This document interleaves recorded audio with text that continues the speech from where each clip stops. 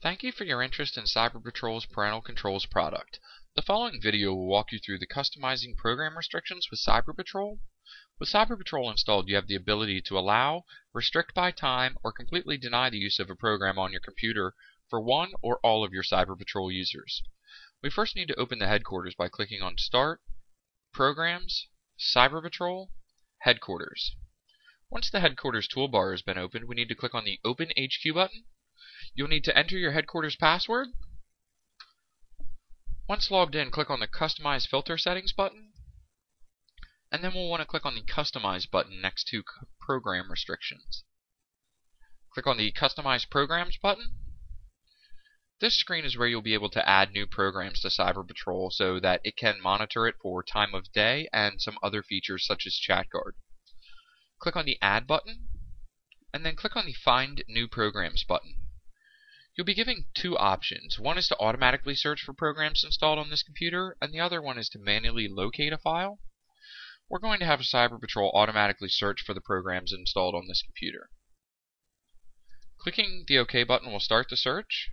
When it is completed, you will see a list of all the applications you have installed on your system. Find the application you would like to filter in the populated list. For this demonstration, we're going to use Internet Explorer.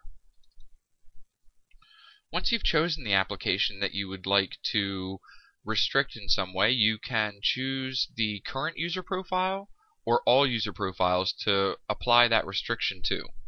For this example, we'll choose the current user profile. By default, Internet Explorer is going to be set to allow. This means that at all times, Internet Explorer will be allowed application. But you have the ability to change this to restrict the access based on the time management settings that you've configured or to deny, deny access to this program at all times. If you make any changes to the program restrictions, make sure to save these changes. You'll be given a dialog box that let you know that your changes have been saved successfully. At this point, you can copy these settings to any other of your Cyber Patrol users by clicking on the Copy To button at the bottom.